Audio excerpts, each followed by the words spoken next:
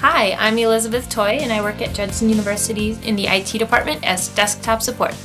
We've been using Freshservice in IT for about four months and it's been a really great tool that we've uh, used that has a lot of features we wouldn't have gotten in any of our other help desk systems before.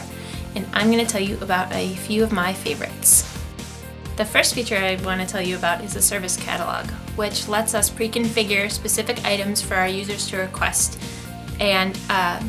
customize forms for them to put in specific information. Maybe they want to borrow a piece of equipment and so they can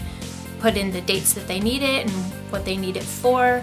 and we can get a lot more information and help them out a lot quicker than we could if we had to converse back and forth with them to get all of that information.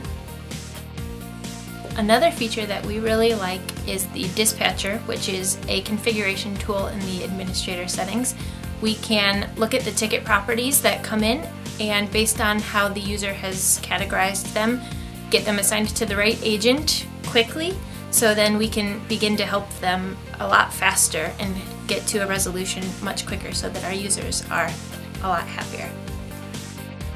The last feature, and my personal favorite, is gamification, which helps us with the student staff that we hire to work in IT because we can motivate them by uh, the points that they receive from completing tickets or uh, completing specific quests like closing 100 tickets and we take the points that they get and actually translate that to an